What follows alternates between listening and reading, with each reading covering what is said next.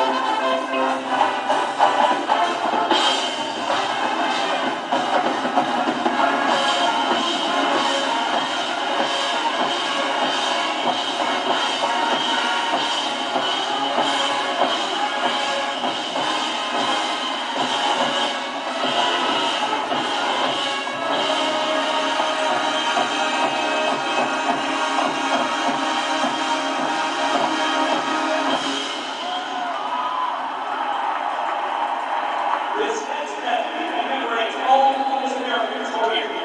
It begins with My Country Tis of Thee, followed by My Hometown Alabama, and concludes with Aaron Copland's Simple Gift.